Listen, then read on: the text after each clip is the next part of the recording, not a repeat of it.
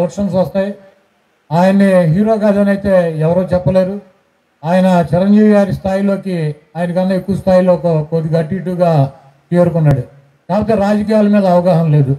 ఆవేశపరుడు ఎవడే చెప్తే అది నమ్మేటువంటి పరిస్థితి. ఈరోజు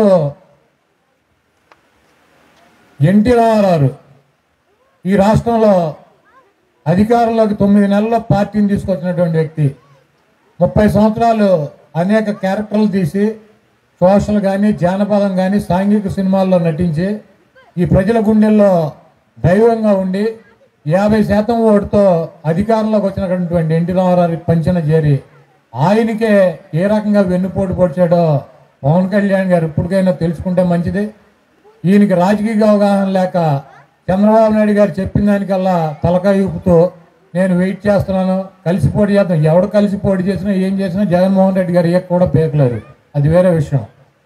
కాబట్టి ఈరోజు ఈ పార్టీలన్నీ కూడా చాలా దుర్మార్గంగా జగన్మోహన్ రెడ్డి గారి మీద మరి నిమ్మలేసేటువంటి కార్యక్రమం మీ ఇంటికి వస్తుంది ఈ రాష్ట్ర ప్రభుత్వం జగన్మోహన్ రెడ్డి గారు ఎవడనైనా సరే ఢీ కొట్టగలిగినటువంటి మగాడు.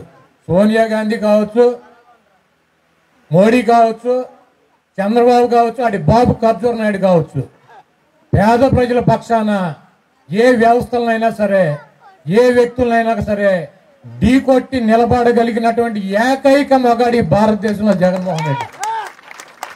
అతను అనుకున్నదే ముప్పై లక్షల మందికి ఇళ్ళ పట్టాలు కావాలంటే ల్యాండ్ కొంట పదహారు వేల కోట్లు కావాలన్నారు. ఐదు పైసలు పిల్లలేదు వంద రూపాయలు వెయ్యి వంద కోట్లు ఉన్నాయి ఖజానాలో. చంద్రబాబు దిగిపోయి వెళ్ళిపోయేటప్పటికి. అయినా సరే అప్పు చేస్తానో సప్పు చేస్తానో ఏం చేస్తానో నాకు అనవ మీకు అనవసరం.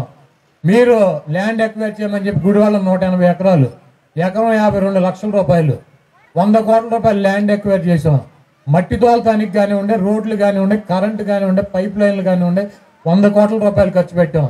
మీకు దాంట్లో ఏడు వేల మందికి ఈ తొమ్మిది వేలు కాక